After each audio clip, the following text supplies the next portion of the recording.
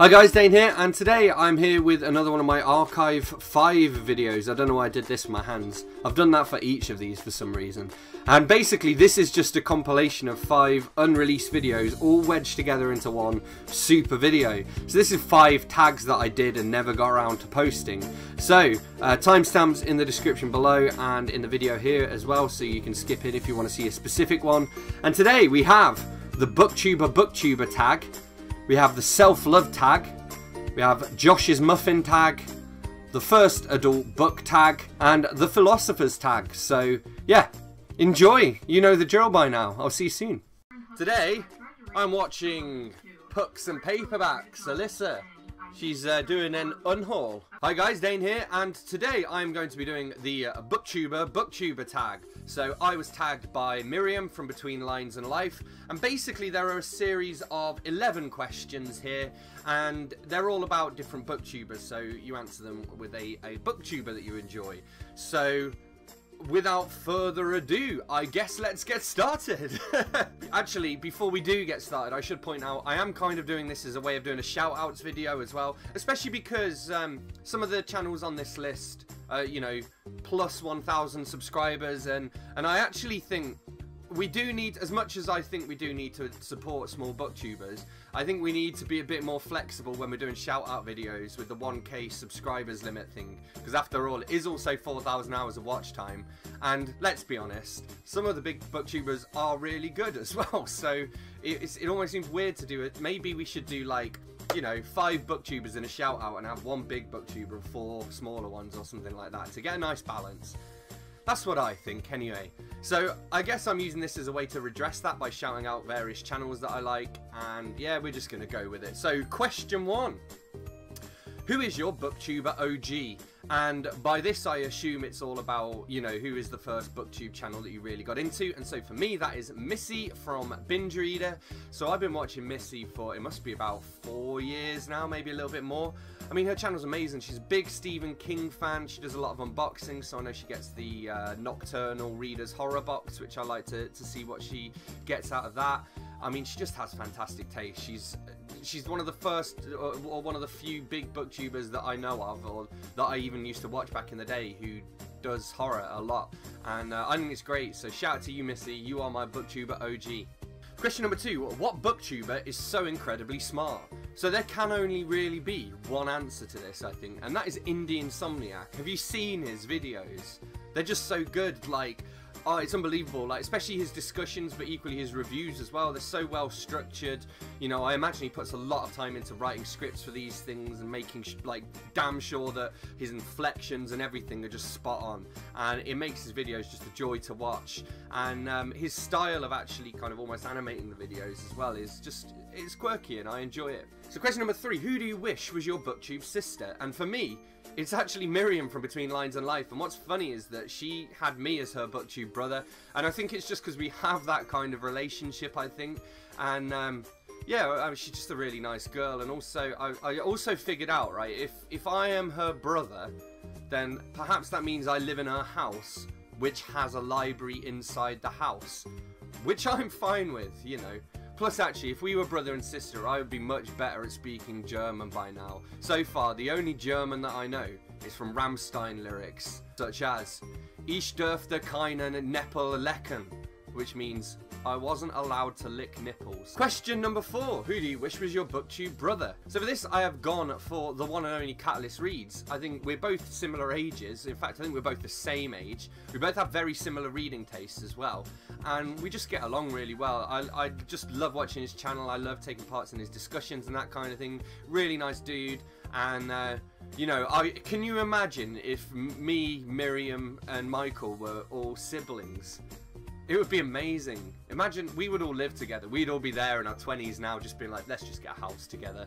Question number five Who is the hardest working social media booktuber? And I challenge anybody to not say Harriet Rosie for this. Miriam said Harriet Rosie, and She's right. She Harriet Rosie is the hardest working booktuber, and the reason for that is just if you go onto her Bookish Stars group on Facebook, she's created this amazing community, bringing all these booktubers together. She's created something called Bookish Writers, which is a Slack group. So basically, it's kind of instant messaging, so writers can keep in touch with each other and ask for feedback on first drafts and stuff. I mean, she's all over Twitter. She did when Small Booktuber Sunday was first a thing. Uh, Harriet basically launched that single-handedly, like, and uh, you know, moderated a live chat and stuff. She's done, you know, Thriller-a-thon. She's just such a great asset to our community. So shout out to Harriet. Question number six: Who is your BookTube crush? Well, it's a good job I'm filming this on a day that my girlfriend isn't here, isn't it? Oh, Jesus. I think she does watch most of my videos as well, so if, if she's watching this, hi. But also, I didn't want to do a cop-out answer for this. I can't remember who I saw, but I saw somebody said that Graham Quigley was their uh, booktube crush, and he is actually probably my man crush because he's such he's just a, he's such a handsome, dapper gentleman. So um, but somebody said that he was their crush, and then he was in the comments being like, oh, thank you. So you get these weird cringy moments where, you know, I think everyone on here is beautiful. But in particular, there are two people that I wrote down who I think I should shout out because I think they are my bookish crushes. So there is Momes from Peachy Fishy Books. And I don't know why, I just, I just, she's, yeah. Oh god, this is so cringy. Um, yeah, she's just She's just very sweet and cute and pretty. and there is also Cody from Cody's Bookish Corner. And Cody, part of the reason for this actually, well, I can give you two reasons straight away. She reads lots of books and she has a northern English accent. But um, both of them as well, they're just both very, very funny girls. And I guess that's what I like. Well, I like reader girls who make me laugh. Like, that is my ideal woman. Oh, and if you can play bass guitar, even better and sing backing. Mm. Alright, moving swiftly on. Question number seven. What booktubers party would you want to go to? I would want to go to Todd the Librarian's party because I think Todd would throw a good party. I mean, Todd Todd is a man of the world. He's he's been places, he's achieved things, he's like he's done lots of weird stuff. Uh, like get him to show you his photo collection, it'd be great. But equally, you know, in every one of his videos he's got a beer and a cup so at Todd's party, I believe it would be beer in a cup for all. Hurrah! Question number nine. What booktuber would you like to go with to lunch? And by this I believe it means, what booktuber would you like to go to lunch with? For this one I'm going for Chrissy Books and Berries because if you watch her Books X Coffee videos, uh, which I think she does one a month, you get to see her going around having coffee and reading books and I think the natural next step would be for us to go out and have, you know, a light lunch then a bit of coffee, then maybe I want to go to the bookstore that she goes to because um, it's really sad actually. She she kind of is on like not first name terms, but she's on a friendly terms with the security guard that works at her books at the bookstore she goes to, and he's uh, retiring or moving on to pastures new. So I would like to go out for lunch with Chrissy. Then we're going to go to this bookshop and say hello to this security guard before he leaves. And then we'll go and have a bit of coffee afterwards and just probably sit in silence and read our books. But I mean, that sounds like a good day to me. Question number nine. Who would you want as your booktube best friend? So, for this, this one's a tricky one, really, because I, I think a lot of people on booktube are really close friends with me, you know. And I'm going from the fact that the title of this, Who Would You Want as Your Booktube Best Friend? I'm going to say Hardback Hoarder because, well, I, I to her channel not that long ago, actually, maybe six months ago or something like that. It was still before I started making videos of my own. But, um, she recently did one of Catalyst Reads tags, which was super cool because she's showing the support for the kind of smaller booktubers. And she also subscribed to my channel as well, which was super cool. So, hi. And, um, yeah, her videos are just really entertaining. And I just, I think she would be just fun in real life, you know. I think we would get up to shenanigans. And, um, yeah, she'd drink wine and I'd drink beer and then we'd We'd probably go to events, like literary things, and just I don't know what we'd do, but I think it, I think she would be a good friend to have. Question number 10, who is the booktube ingenue? So, like most people, I don't know, I find the term ingenue, I looked up the definition of it, and I find it to be contradictory. I mean, it's it doesn't really work as a word from my point of view. But basically, the definition I found is that someone who is uh, Oh, I'll tell you what, let's do this. Hey Google, what does ingenue mean? Okay, so an innocent or unsophisticated young woman. So based on the young woman bit, and I guess on the innocent bit as well, I don't know who I am to judge really, uh, I'm going for sophisticated reads. However, I don't think she's... Didn't it just say an innocent and or unsophisticated woman. I mean, she's sophisticated. She's very sophisticated, you know. Um, but she is a young girl. I mean, she's 14, which is half my age, which is terrifying. And she reads such a diverse collection of books. I mean, she does read, say, some YA, but equally she'll read Jane Austen. Me and her, we're gonna, uh, sorry, uh, she and I, no, me and her, I think is me. I don't know. She can probably correct my grammar at this point as well. But, but um, we're gonna read The Handmaid's Tale by Margaret Atwood later as well, and I just wish I was as well read as her when I was her age, if that makes sense. And finally, question number 11. What booktubers deserve a shout out? So I'm going to use this also as a way to tag people. And I'm going for my new method of tagging, which is that I'm basically going into my comments on YouTube and trying to tag people who... Um, you know, maybe I interact with once or twice and they watch my videos and I watch their videos, but they're not people I've tagged all the time. Like, there's no point me tagging Todd the Librarian again, you know. He'll just take the tag if he wants to do it. So, on that note, I am going to tag Night Fear, who is a fellow Stephen King fan. I am going to tag Books Like Whoa, who is a fellow Agatha Christie fan. and I'm going to tag, and I'm going to tag Madeline Swan, who is one of the few people, well, it's the first person I've ever met that knows a specific other author I know called Lisa Cantoral, who writes bizarro fiction. And actually, she does. Madeline reads quite a lot of bizarro horror and just weird pulpy stuff. It's great. So yeah, you three are tagged in particular, but equally, everybody who's mentioned in this video, consider yourself tagged. If you're watching this and you want to do it, tag yourself as well. Dobby says hi, and we are done. So, don't forget to leave a like, subscribe if you haven't already, drop a comment to let me know which of these channels you watch as well. And uh, in the meantime, I will see you soon for another bookish video. Thanks a lot. Bye bye.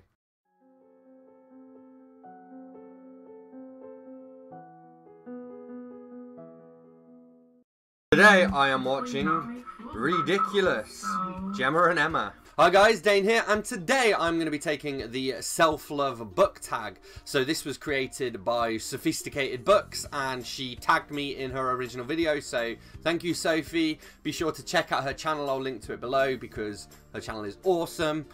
And we have a series of questions, as usual. I have a few books, I don't have loads of books for this one, because a lot of them aren't, you know, which book questions. So without further ado, let's get started. Okay, question number one. How do you treat yourself when you finish a new book or accomplish a goal? So for me, I pick up another one. That is my treat, really. Um, I read a lot of books. I mean, like, if I had a chocolate bar for every book I finished, I would be, I would be a, a bigger man. I would be like, I don't want to say fat because I don't like calling people fat, but I would be fat. Yeah, I read like maybe 20 odd books a month or something, so I, just pick up another book. That is my treat. And usually I know what book I'm going to pick up next as well, so I get excited and I look forward to it. Question number two. What place do you turn to have your light bulb moment? A place where you can get new ideas and get rid of a creative block. I would like to say the answer for this is in the shower. I don't actually really like having showers. I, I shower in like five minutes, you know. I don't take long and I have music on as well. But I do sometimes have some ideas in the shower but I honestly think most of those ideas come to me when I'm lying in bed and trying to sleep and I have these great ideas. And I have to like either get up and write it down or send myself an email to be like, don't forget this.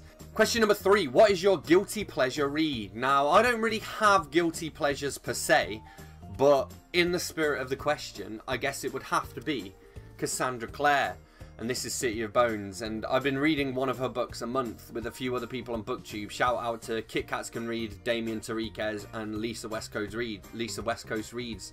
Sorry, Lisa, I can never say your channel name because it's long. but anyway, I mean, to be honest, I did. I mean, I independently picked up the first book in the series just to see what it was about, you know. But then i have kind of continued reading it with those guys, and really, I'm I'm mainly reading it just to see how you know why so many copies have sold and what I can steal and, and implement in my own books.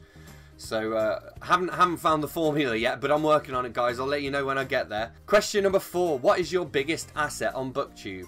Take off the modest mask. This is all about loving and appreciating yourself. What do you do amazingly as regards to the making of your videos? So for me, I think I guess there are two things. I think one of them is that I have a fairly decent camera and microphone, so my video and audio is pretty good. I have lighting as well, which I normally use because half the time I film at night anyway because I'm a night owl. But um, even in the daytime. I still use the lighting to try and have a consistent look and feel, I guess. I mean, I have my little backdrop. It's kind of colourful, maybe. I guess my personality helps. Um, I don't think I'm a particularly good at editing, but it does the job, you know. And I think the other the other main thing actually is just consistency. I, I release a video per day. Maybe not at the same times because it just depends when it's ready. So sometimes I'm literally editing a video on the day it goes out, but I, I, really enjoy doing it. So I film more than I release actually. I have a backlog of, of videos. So I guess that the fact that I film more than I release makes sure that I only release ones that I'm really excited about. Question number five, which fictional career is your dream job? So I've gone for being a dragon trainer from the How to Train Your Dragons books, and this is How to Break a Dragon's Heart, book number eight, which I recently read just because. Because I want to be a dragon trainer, it sounds fun. Okay, question number six. What is your favourite drink to have while reading? Shout out the items or ingredients you love. I guess a beer, which is made from hops usually, and barley, I think, and yeast. I don't know. I don't know what goes into beer. I just put it in my mouth. Or also coffee. I have a coffee down here. Oh, it's almost finished actually. It's gone cold. It's, it's usually a lukewarm coffee because I make it and then it's too hot for me to drink and then I forget about it and just drink it when it's cold. Yeah, that was room temperature. Or squash as well, which is just squash and water. Question number seven. What book or self-help book has changed or influenced you in a positive way? And I think it's probably been On Writing by Stephen King. And it's not even that necessarily I followed all of his advice in it. I think a lot of it is the mentality towards writing. So, for example, King is very much a pantser. He has, maybe he knows about his characters and he has his central premise for a book. And then he makes it up as he goes along. Whereas I have found I, I actually tried doing that based partly on what I read in this book and found that it's not for me. So I'm going to go to plotting. Actually, like I'm going to be more organized in my plotting. Look, hang on. This is actually the, the plot to Lightfold Book 4. So Driven, my recent book, is Book 1. This is the plot for Book 4. So I've printed it out and I'm making changes and highlighting stuff. Figuring out who I need to make character sheets for then I printed out these character sheets that I can write on. So, you know, that's totally opposite pretty much what King says in his book, but in a way the book inspired me to do that. It inspired me to find what works for me, you know. And other things that he did say in here make sense as well. Just things like even make sure you write a certain amount of words per day every day on the book. So I always write, I write every day. But for example, my current project, Meat, that's been on a shelf for about two, three weeks because I got edits back on a previous book. And so instead of continuing to write some of me every day and doing the, you know, rewrites for this other book, I've just gone all in on the rewrites. So I'm going to try that with my next book. Question number eight, which fictional world do you think you would thrive in? And not only is this the like a fictional world, but this book is the name of the fictional world, and that's Liars at Oxford from Philip Pullman's His Dark Materials trilogy. And it's basically a bit like a sort of a steampunky Victorian world, but with a few elements from our own time as well. And also everyone there has daemons, which is amazing. So I think I would thrive in this world. Question number nine. What is your spirit animal? It could be your Patronus or a creature that you think represents you. So I'm going for a wolf and this is just from a thing a while ago that a conversation I had with a friend and we decided that my spirit animal was a wolf and so I've taken that to heart and I do think I am a bit wolf-like because I'm a bit of a loner but I hunt in packs I guess. I don't know and howl at the moon. Question number 10 the next step after knowing to love ourselves is loving others. What three authors are you grateful for having inspired you with their stories and writing so for me, it's probably my three most influential authors on me, I guess, would be Philip Pullman, because he made me fall in love with reading, Terry Pratchett, because he's my most read author, and Stephen King, because I think he's who I admire most as an author, and who I think, you know, I, I like to think big, and so I like to think of him as my biggest competition, because I don't think many, if any, authors are better than King, to be honest.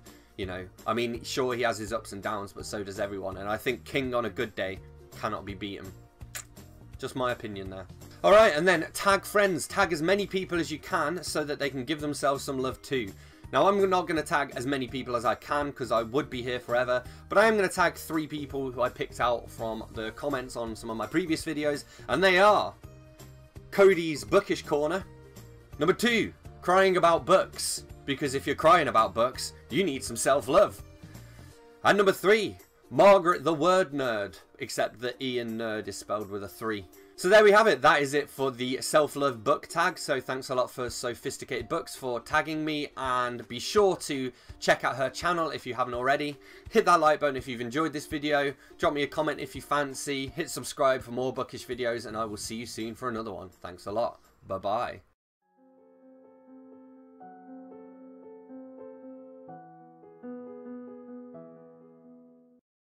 Hi guys, Dane here, and today I am going to be taking Josh's Muffin book tag. So this was created by Josh from Literary Gladiators. I was tagged in this by Todd the Librarian. Here he is doing that. So this is Who Do You Tag? And I'm going to tag Linda the Book Lady, um, Alicia, uh, What the Gemini, Matilda Gothica, it's a lot of.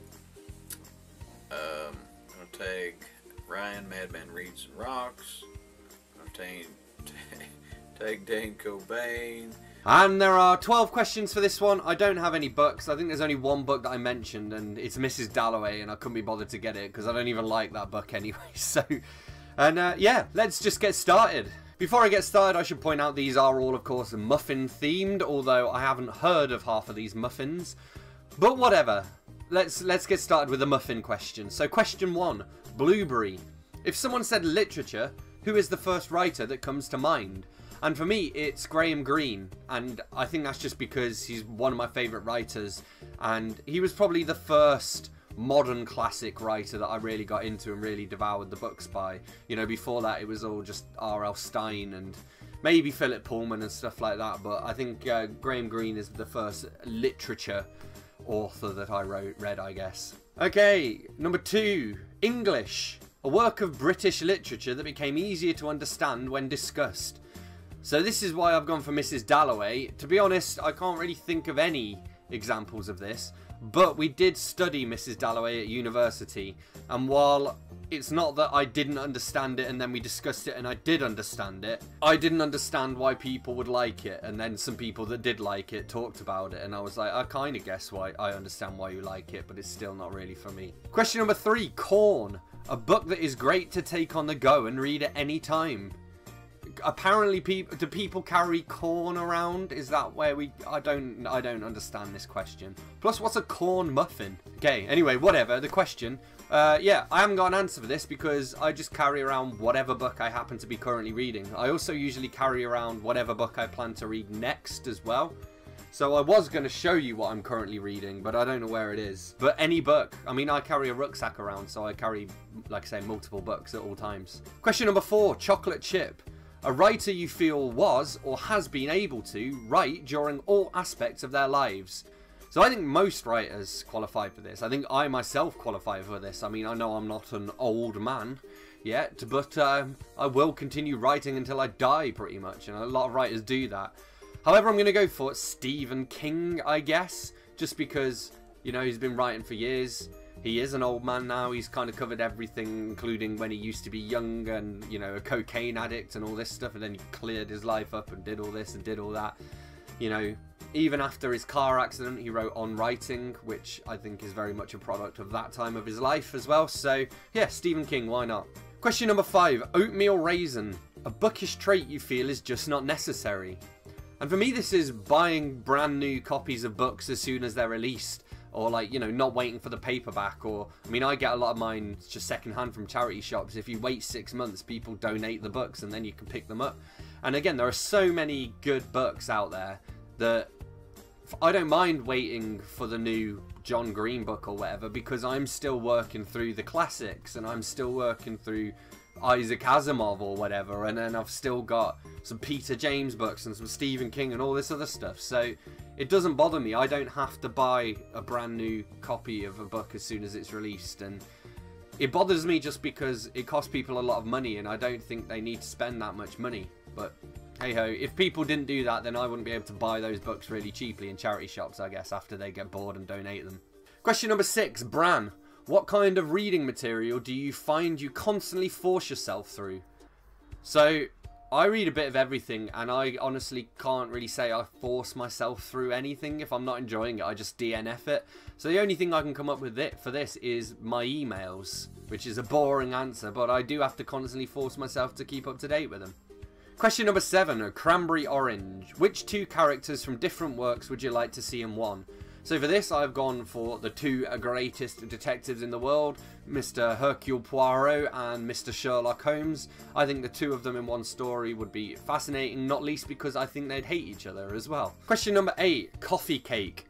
If you could see any poet, dead or alive, recite poetry at your cafe, which one would it be? Now, I don't own a cafe, which may surprise you, but um, I guess I would go for Charles Bukowski, especially because he was a raging alcoholic. So if nothing else, it would just be fun to see what he did. But also, he hated doing readings as well. So I just think, you know, yeah, why not? Question number nine: Cruffin, croissant muffin, a great short work of French literature.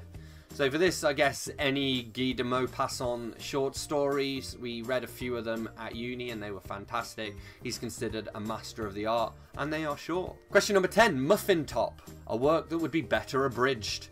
So for this, I'm just basically saying every Cassandra Clare book. I mean, granted, I've only read three of them, but I have felt as though each of them could have been 100 pages shorter and it would have been more impactful and, you know, more of a page turner. I think I think it's meant to be a page turner, but every now and then you just get these big long bits of exposition that just put the story on hold for a while. Question number 11. What is your favourite muffin? My favourite muffin is blueberry muffin. I like blueberries. Also, I don't really like chocolate. I get a bit sick of chocolate, so blueberry muffin, that'll do nicely. Question number 12. Let's go to Drury Lane. Who do you tag?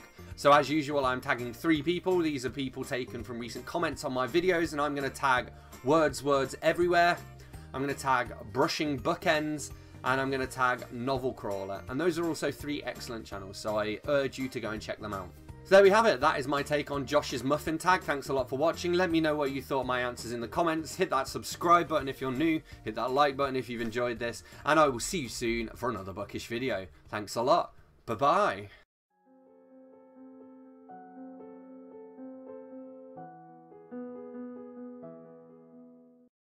Hi guys, Dane here, and today I'm going to do the first adult book tag. So this was created by Dave at Wild Reads, and I was tagged by Brian's Bookshelves and somebody else who I can't remember, so I'm really sorry about that. Please don't tell anybody that I forgot your name. It was an accident.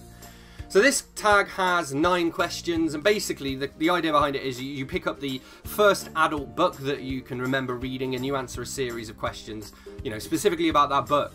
The problem that I have is that I don't really remember too much of my childhood, and I was reading like at a really young age, so I don't actually know what my first adult book was.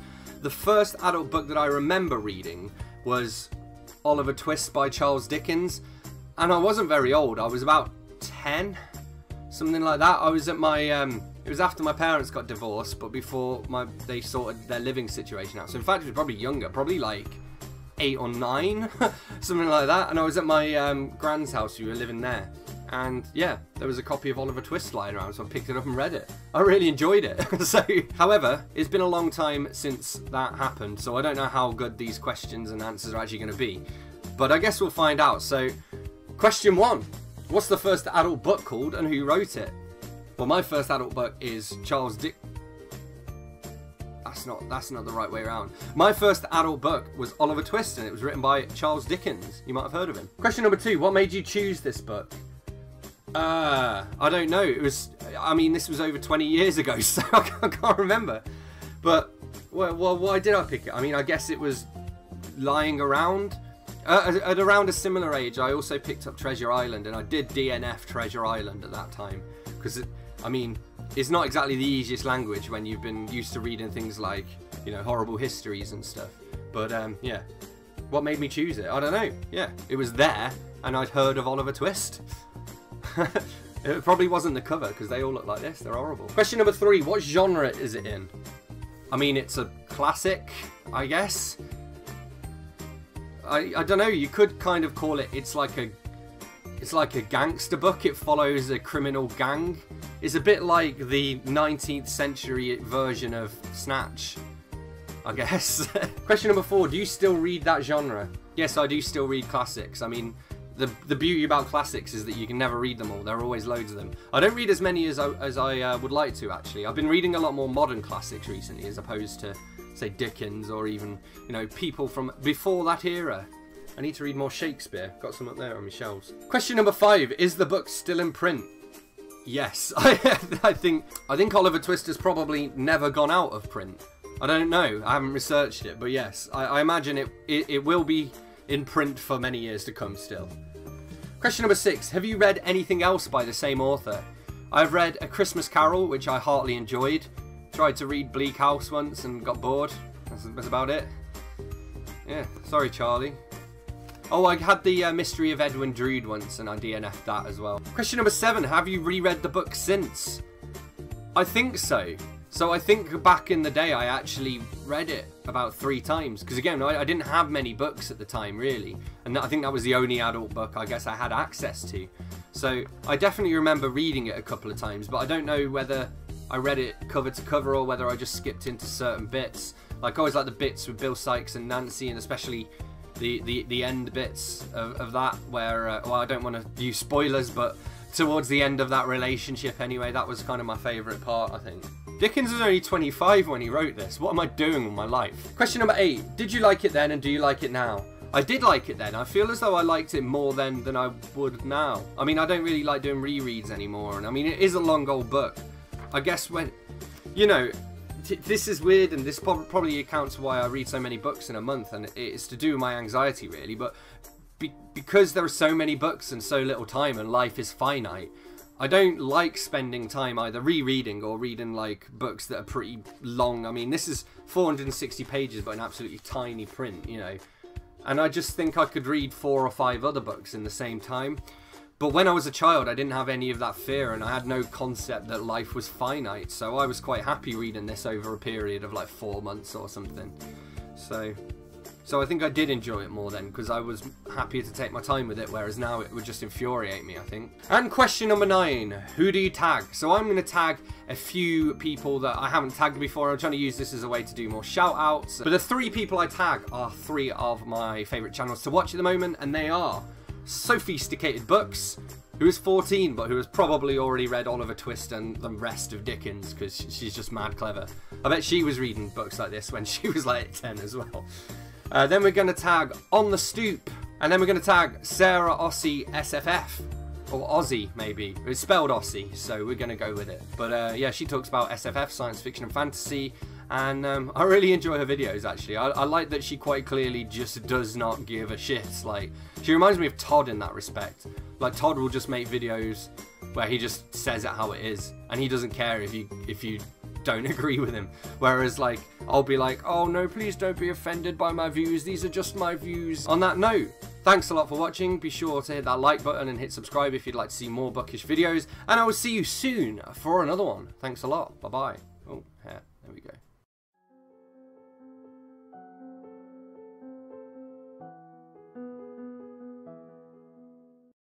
Hi guys, Dane here, and today I'm doing the Philosophers tag. So this was created by Miriam from Between Lines and Life, and I encourage you to check out her original video, not least because she knows about philosophy, and I don't really know about philosophy. She's actually a philosophy student, in case you're wondering uh, where the theme of this, this tag came from.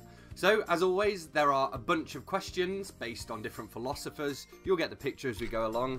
I have selected a bunch of books which I am going to talk about and I'm going to go through, answer the questions and tag some people at the end to continue this tag. So without further ado, let's get started. Question 1. Thales is considered the first known philosopher. Which text introduced you to philosophy or which text would you like to read to get you into philosophy? So I've gone for a bit of an obscure one here.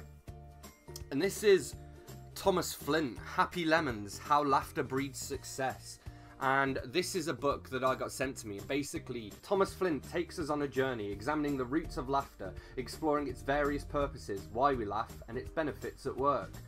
So, I guess it's not it's not exactly deep philosophy like Voltaire or anything, but this is what came to mind because it is a kind of, it does contain a kind of philosophy within inside it. I mean, the guy's a bit of a hippie. He talks about the healing power of laughter and that kind of stuff, but it does make a lot of sense. A lot of the things he he says and the way uh, we ought to approach our lives. Question two.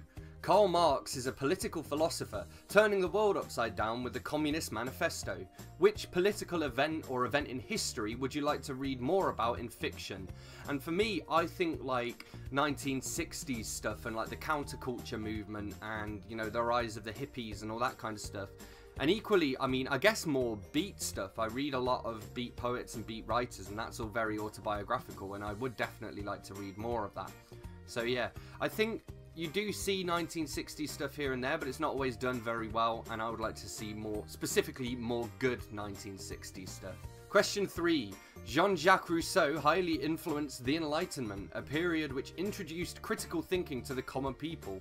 Which book or author forced you to think more critically?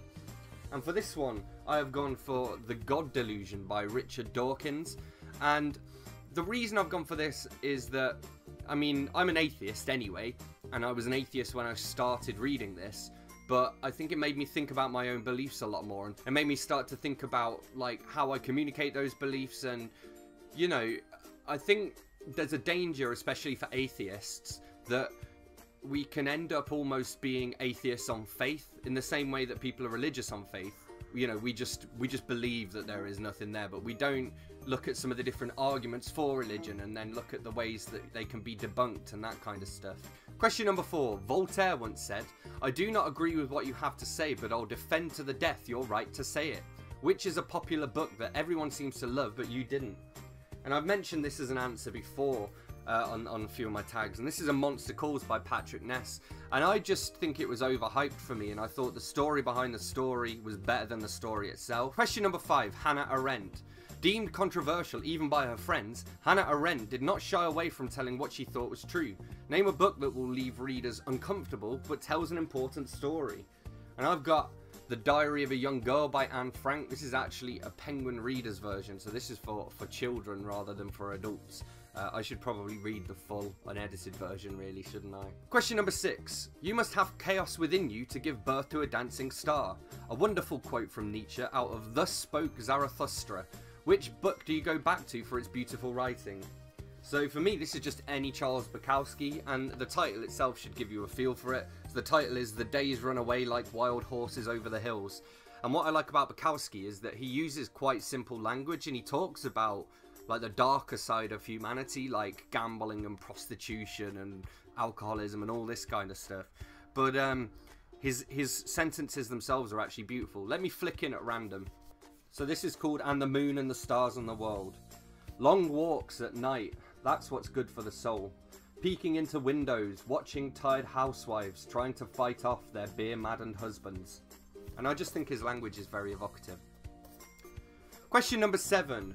Jean Paul Sartre raised the question what is literature in one of his books? What is good literature for you? And for me, it's anything that can make the reader feel something, anything that can move them. And that's why literature is so interesting because it's so subjective. What moves me might not move you. And that's why I've got to say people like Sarah J. Maas and, you know, I don't know, Holly Black, the YouTube Cassandra Clare, although I have actually read one of her books. But that's why they, that is literature. Whether you like their books or not, it is literature because it moves people and it makes them feel something. Question 8. Albert Camus. Which book did you have to keep pushing through because you really wanted to understand its meaning? This might be Camus as well. I don't know how you pronounce his bloody name. This is The Odyssey by Homer, and this is an, actually a, an Oxford University Publishing Press edition that they sent to me, and it's in hardback, and it's really beautiful. But um, I've been struggling to get through it. I'm on page 18, I'm that far in, so there's still a fair amount for me to go. But I do, I want to understand its meaning, but it's just very dense. Actually, the translation that I've got is very approachable. It's like understandable. I know what's happening. It's just a lot of words per page, so I sit down to read it and I clear five pages or something. Question number nine. Which are the three philosophers you would love to sit down and have a chat with? Okay, now you may have noticed from my answers to this tag and my pronunciation for people's names, but I don't know much about philosophy. So I've gone again for three whose names kind of stand out to me and kind of mean something. I'm going to go for Nietzsche, because, you know, I like his school of thought. I'm going to go for Voltaire, even though I recently DNF'd Candide and other stories by Voltaire because I found his writing to be too inapproachable for me. And I'm going to go for Albert Camus because or Camus, however you say it, because he's in my mind now. Okay, Google, who is Albert Camus? According to Wikipedia, Albert Camus was a French. Bollock! And on that note, that's the end of the question, so I'm going to tag people. So I'm going to tag Todd the Librarian, Graham Quigley as well, and Mindy's Book Journey. So have fun trying to figure out the ins and outs of philosophy, because this was actually quite a difficult tag to do, but I wanted to do it because again, it's a it's an original tag, not by me, but by Between Lines and Life by Miriam who tagged me. And uh, I always try and do those ones first because I think you know these new tags need support. So you know if I if you're watching and I didn't tag you, you are now tagged. There we go.